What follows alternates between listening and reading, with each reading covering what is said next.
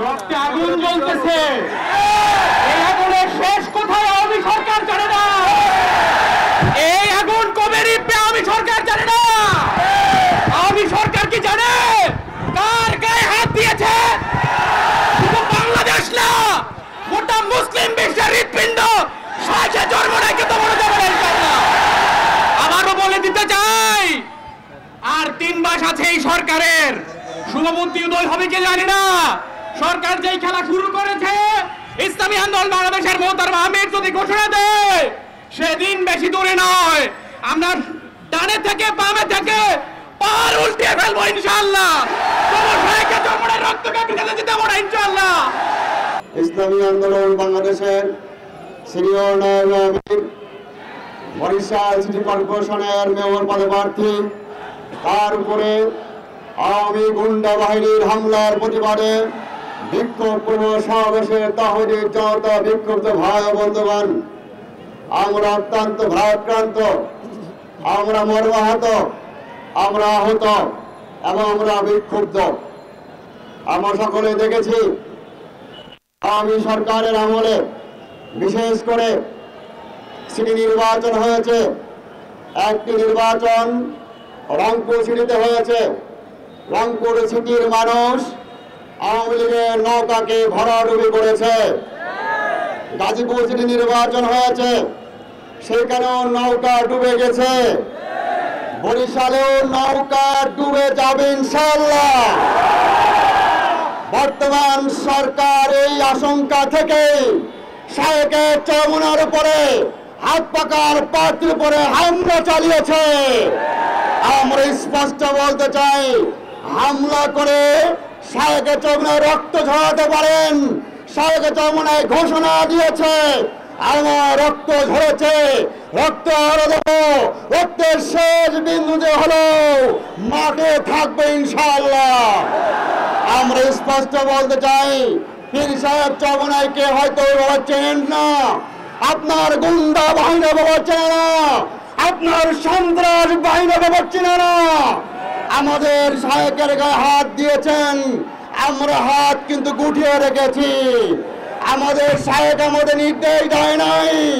যে নির্দেশ দেয় আমরা হাত পিছন থেকে সামনে আনতে বাধ্য হব কিন্তু। আমাদের হাত সামনে চলবে, পিছে চলবে না। অতএব আমাদের ধৈর্যের সীমায় যাওয়ার ক্ষেত্রে আপনারা বেঁধে থাকবেন। আমরা স্পষ্ট বলতে চাই খুলনা নির্বাচন হচ্ছে। আমাদের ক্যান্ডিডেট নায়েব আমির বলেছেন খুলনায় ভোট দিতে গিয়ে নৌকায় চাপ দিলে চলে যায় হাত পাকায় চাপ দিলে নৌকায় চলে যায়, বিভিন্ন মার্কায় চলে যায়।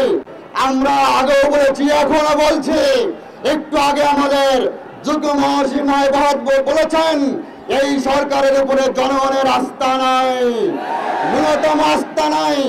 আস্থা না থাকার কারণে এরা অশুভ পথ বেছে নিয়েছে। চুরি এবং ডাকাতি চিন্তার পথ বেছে নিয়েছে।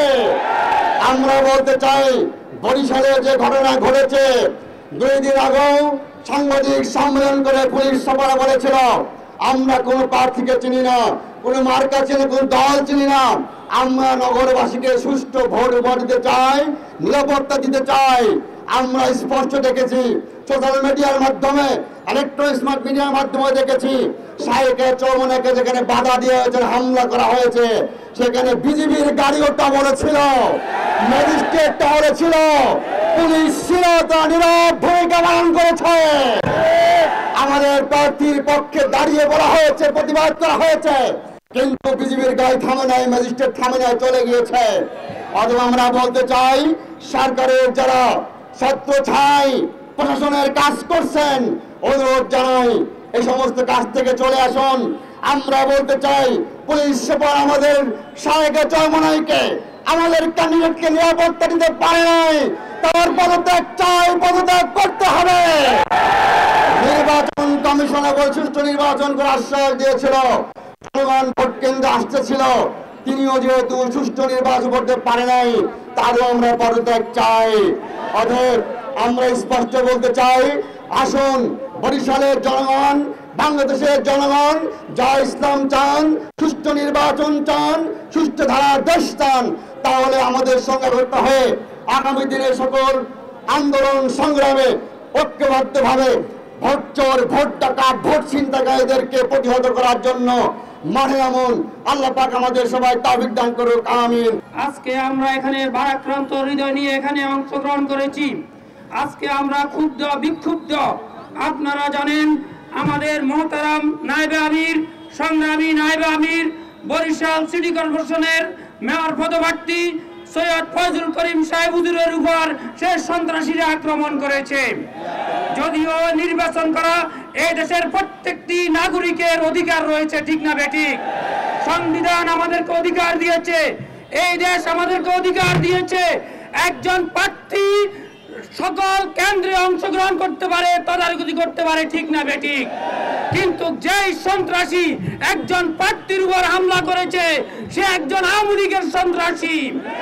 আমরা তার দৃষ্টান্তমূলক শাস্তি কামনা করছি।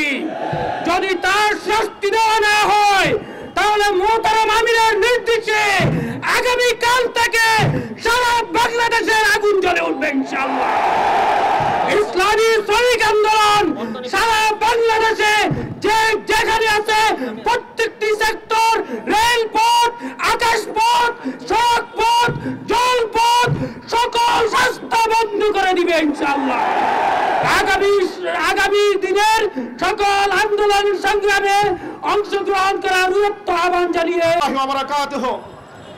ইসলামী আন্দোলন বাংলাদেশ, ঢাকা মহানগর, উত্তর দক্ষিণ কর্তৃক আয়োজিত আজকের এই বিক্ষোভ পূর্ব সমাবেশের আগে আজকের যে ছরমনাই সিটি কর্পোরেশন নির্বাচন বরিশালের সে বরিশালের সিটি কর্পোরেশন নির্বাচনের সরকারের যে প্রশাসনমূলক যে আজকের এই কর্মকাণ্ড আজকে যে আমাদের সাহেকের চরমনাইকে আমাদের মেয়রকে রক্তাক্ত অবস্থায় করেছেন আমাদের অনেক কর্মী ভাইদেরকে হত করেছেন ইসলামী আন্দোলন বাংলাদেশ আমাদের আজকের এই কর্মসূচির মাধ্যমে সরকারকে জানিয়ে দিতে চাই। আজকের যে কর্মকাণ্ড আপনারা করেছেন, এর কেশরত আপনাদেরকে দিতে হবে। এর প্রমাণ আধা ঘণ্টার ব্যবধানে আজকের এই তহিদি জনতা, বাংলার লক্ষ কোটি মানুষের হৃদয়ের স্পন্দন আমিরুল মুজাহিদের আহ্বান এখনও দেয়নি। আমাদের নগর কেন্দ্রের নেতৃবৃন্দের আহ্বানে আপনারা যেভাবে ইমানি তামান্না নিয়ে মাঠে উপস্থিত হয়েছেন, আমার তো মনে হয় এইভাবে যদি আমিরুল মুজাহিদিন ডাক দেয় বাংলাদেশ যে কোনো পরিবর্তন ঘটানোর জন্য আপনারা প্রস্তুত আছেন? আমাদের শাহকে চরমনারের রক্ত, আমাদের মুজাহিদের রক্ত বাংলাদেশকে জানান দিচ্ছে। আগামীতে ইসলামী আন্দোলন এই রক্তের বিনিময়ে বাংলার শাসন ক্ষমতায় ফিরে আসবে ইনশাল্লাহ সেই আহ্বান রেখে আগামীতে যে কর্মসূচি আসবে, আমাদের আমিরুল